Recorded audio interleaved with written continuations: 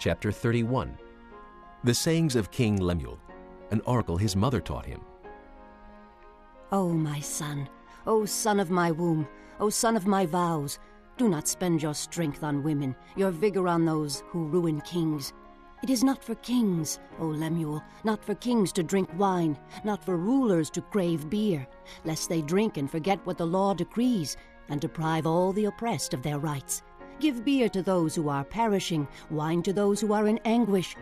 Let them drink and forget their poverty, and remember their misery no more. Speak up for those who cannot speak for themselves, for the rights of all who are destitute. Speak up and judge fairly. Defend the rights of the poor and needy. A wife of noble character who can find? She is worth far more than rubies. Her husband has full confidence in her and lacks nothing of value. She brings him good, not harm, all the days of her life.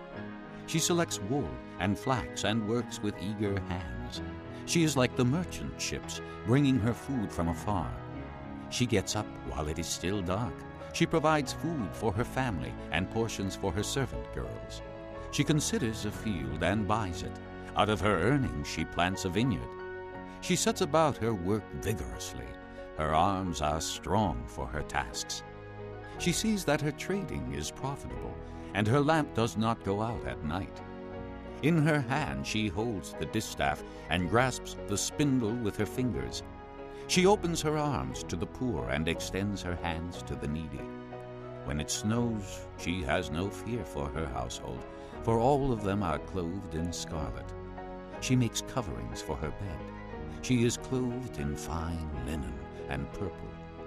Her husband is respected at the city gate, where he takes his seat among the elders of the land. She makes linen garments and sells them, and supplies the merchants with sashes. She is clothed with strength and dignity. She can laugh at the days to come.